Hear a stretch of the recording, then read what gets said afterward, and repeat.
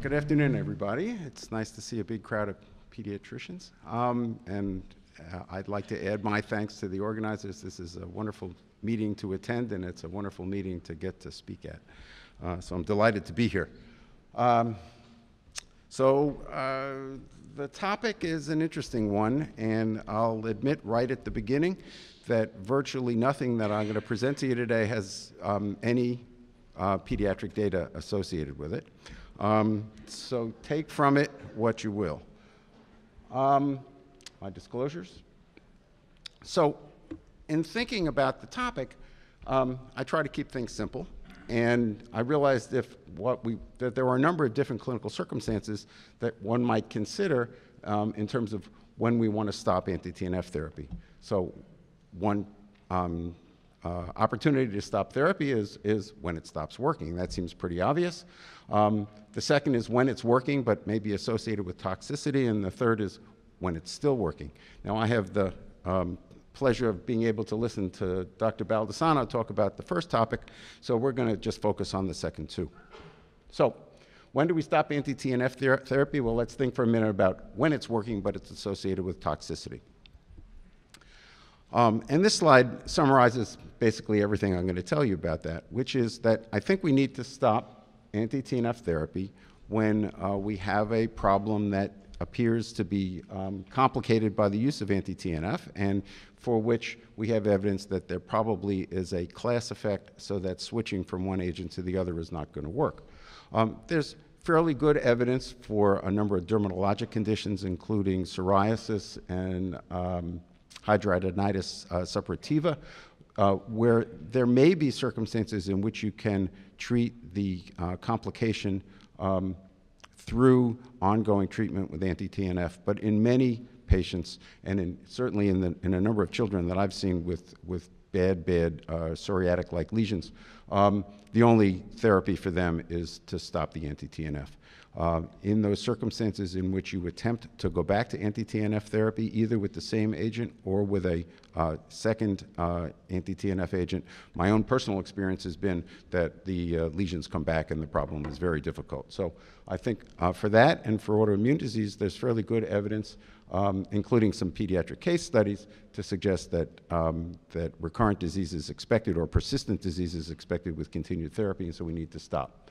Um, those of you who attended the morning session uh, and heard some of the debates heard the debate about whether or not we need to stop uh, treating uh, with anti-TNF in the setting of lymphoma.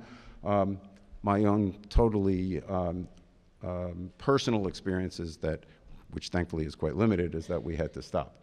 Uh, demyelinating disease I've not seen. The adult literature suggests that, that uh, we need to um, stop anti-TNF for that, interstitial pneumonitis as well. The question of what to do in opportunistic infection is a little bit more difficult. Again, there's very, very little um, in the way of uh, data beyond scattered case reports. There is a suggestion um, that uh, for disseminated disease, you need to stop anti-TNF clearly, though once the disease has been uh, successfully treated, uh, just like uh, we do with tuberculosis, treatment with an anti-TNF can resume. Under most circumstances, the opportunistic infections appear to be primary infections, not reactivation of disease. So it does appear that once we've treated, it's safe to go back to the use of anti-TNF. So that brings me to the next topic where we'll spend a little bit more time is um, when do we stop anti-TNF in the circumstances of when it is still working? And to think about that, I think we first have to think about, well, why might we want to stop? Well, Ted has already alluded to the possibility of cost. And um, um, cost is obviously a very variable um, problem depending on where you are in the world and who's paying um, uh, for the treatment. Um, we've all had experiences with patients who have found it very difficult to manage the cost of these therapies, and we've had to consider stopping on that basis. I'm not going to spend much more time on that. Um, but patients also want to stop because either of a um, experienced side effect profile or for a um, uh, concern about the theoretic um, side effects that may come from these therapies. Saying that, though, the real question is how many of our patients actually really want to stop? Um, uh, I'll tell you that um, often it's the parents who come to me with the question, can we stop therapy? And when the kids get wind of it, um, they don't want to hear anything about it. In most of the patients that we have introduced to anti-TNF over the years, it's generally been in kids who have been really pretty sick. And um, most of those kids don't want to go back to that, even when the parents raise the question. But I was able to find a study, this comes from uh, the UK, that um, interviewed a uh, number of adults um, about the possibility of stopping um, uh, anti well, in this case, it was Remicade treatment. From what I understand, the, the policy in the UK is that Remicade can be used for a year, and if it hasn't failed before then, that you reassess your patients at a year to decide who needs to continue and who could possibly stop. So, um, in this one paper, um, 21 adults who had Crohn's disease who had been treated for at least a year were um, interviewed uh, for the first question, which was were they willing to consider being reassessed for the possibility of stopping disease, uh, stopping treatment. Um, and 38% uh, of them said yes, they were willing to have that reassessment. Most of those patients, um, when asked why they would want to stop their anti-TNF, cited issues associated with um, side effects, demyelinating disease, lymphoma, um, uh, infections. Um, but fully uh, two thirds of the patients had no interest whatsoever in being reassessed. Whether they had to be in the UK or not, I'm not sure. But according to this paper, most of these patients refused reassessment. They did not, in any way, shape, or form, want to stop their anti TNF therapy. They were afraid that uh, they may get sick, they may need surgery, they may lose time from uh, work, uh, not be able to afford their ongoing care when they lost their jobs. So, a significant proportion of our patients have no interest in stopping anti TNF. Um, but are there patients who can stop. And for that, I wanted to show you um, a quick summary of a number of different studies from around the world. Um, uh, this first comes from Canada, looked at 48 um, adult patients who are on maintenance infliximab therapy. Um, all had a corticosteroid-free clinical remission at the time that the infliximab was stopped two-thirds of them were on, on an immunomodulator with either a thiopurine or methotrexate. Um, the median number of infusions at the time that the infliximab was stopped was eight, and the median duration of treatment 15 months. So what was the outcome when they stopped um, the infliximab? Well, what you can see is that 50% of the population had a relapse by 15 months, and only 35% had a long-term remission off of infliximab. Now you can look at that and flip it on its head and say, well, actually, 35% of patients actually did pretty well and had a long-term remission, even though they had stopped infliximab. So it does look like there are a, um, a group of patients who can stop anti-TNF and remain well for an extended period of time. Um, in this particular study, the authors could identify no clinical predictors um, at the time of discontinuation of the infliximab that predicted that long-term uh, remission. Another study, this one from uh, the GETAID group in France, um, looked at 115 adult subjects who had luminal disease and been treated with an anti-TNF and immunomodulator for at least a year. All again were uh, stable and had a corticosteroid-free remission uh, for at least six months at the time that their uh, infliximab were stopped, uh, and all had their immunomodulator uh, continued after the uh, discontinuation of the, of the Remicade. Um, median duration of uh, disease at the time of withdrawal, almost eight years. And what you can see is that the results in this population are fairly similar to the Canadian experience. 39% had relapsed by a year, 50% had relapsed by two years. In this particular study, they were able to identify a number of risk factors that um, uh, um, predicted um, an a relapse following discontinuation. Um, you see the factors that were, uh, had the greatest import were male sex, um, uh, being anemic at the time that the infliximab was stopped, um, having uh, an elevated CRP at the time that infliximab was stopped, and a number of other factors these authors were able to demonstrate that they could um, develop a model um, that either um, incorporated, that's the complete model that incorporated uh, both a endoscopic uh, assessment and infliximab levels and a simplified model that left those uh, two studies out and were able to demonstrate that uh, the, the increasing number of deleterious factors could identify uh, patients who had the greatest risk for infliximab relapse. And in fact, they were able to simplify it simple enough for me to understand, which was that if you were male and um, you had um, uh, not had a previous resection, that, um, that in this case, I'm sorry, in this, in this simplified model, they turned the risk factors on their head, and these predicted um, uh, who had a lower risk of relapse. And so the, the males had a greater risk of relapse than the females, so um, uh, it took a greater number of good factors to put them in a good risk category for maintaining remission following discontinuation of Remicade. I'm sorry, a little bit backwards, but that's how the authors exp uh, expressed it. Um, another similar study from Hungary, uh, in an uh, area where after a year you have to stop Remicade, 121 adult subjects who discontinued anti-TNF. Um, this was a combination of both adalimumab and infliximab experience. Um, most continued uh, concomitant treatment with uh, thiopurine.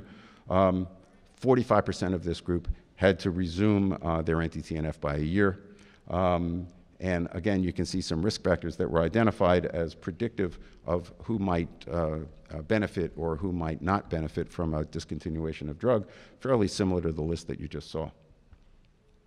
So, um, there was an austere group of um, individuals who were put together to try to answer the question when do we dare to stop biologic or immunomodulatory therapy for Crohn's disease? These are the results of a multidisciplinary European expert panel. And um, their objective was to rate the appropriateness of stopping anti-TNF therapy um, in Crohn's disease patients who were in remission, and they used a, a standardized model that I cannot explain to you um, and never have heard before. But um, what uh, this group was able to decide was that if you're going to consider anti-TNF um, treatment in patients who are receiving monotherapy, that um, patients should uh, not be considered until after at least two years of clinical and endoscopic remission or after four years of just clinical remission. And if you're going to withdraw the anti-TNF from combination therapy and maintain patients on an immunomodulator, that you could shorten that to after two years of clinical remission. Now, despite the austere group, there's a um, uh, review paper um, that's been published in the last year or two in the IBD journal, which um, I like to sort of summarize as, as, if it ain't broke, don't fix it, which many of you may know is my favorite uh, therapeutic um, uh, paradigm. Um, and so in, in this circumstance, it is the author's opinion that 6-MPA azathioprine and infliximab or anti-TNF treatment not be stopped as long as remission is maintained, cost is not an issue, there are no significant side effects, and the patient is tolerating treatment. A concern to stopping any of these medications is that treatments will develop, uh, is that patients will develop recurrence of disease or a complication that may make reintroduction of medical remission difficult. Similarly, we have concerns that by switching from one treatment to another, the patient's fu future medical options will be limited. Until new data are presented, we suggest sticking with the horse that got you there and not stopping or switching immunomodulators or biologics that are working. So, clearly the um, um, weight of evidence doesn't support one decision or another. So if we're going to consider um, stopping anti-TNFs in a patient in whom they seem to be working, who might that person, patient be? Well, I think those patients need to be in a deep remission, and a deep remission um, needs to be defined. Um, and um, in this particular study that I can show you, um, patients, uh, um, uh, there was a, an attempt to decide how often are patients who um, we evaluate who may be in clinical remission actually in a deep remission. And in, and in this particular study, um, deep remission was defined as no clinical symptoms and no endoscopic activity, defined as a uh, simple, simple endoscopic score for CD of uh, 0 to 2, um, or a Mayo subscore of 0 to 1 in the case of ulcerative colitis patients. Um, 67% of the patients who they evaluated were in a clinical remission, and 122 of those 168 were in deep remission by this criteria. So patients who are in deep remission may do well and may be considered uh, for discontinuation of their Remicade, um, but importantly, they should not have had a recent need for dose escalation. They uh, um, are in a good risk category if they have low or absent trough levels at the time that you're um, uh, considering stopping them. Presumably in those patients, they've already demonstrated that they can come off drug without relapsing, longer duration of remission, normal growth and uh, an advanced Tanner stage in my book, and willing to consider alternative therapy, the patients who don't meet those characteristics should not be considered for discontinuation. How do we treat after stopping? Well, to maintain remission, you can try immunomodulators, you can try enteral feedings, and in some cases, there are case reports of doing nothing. What if the patient relapses? Try restarting the anti-TNF.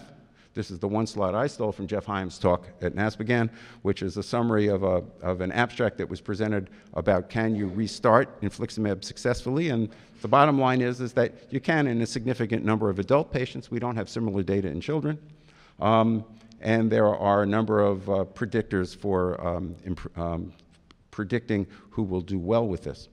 If you can't uh, restart the anti-TNF, then you can consider an, another alternative agent with a different mechanism of action, and I'll leave that to the future uh, lectures to talk about our different uh, future therapies. Thanks very much.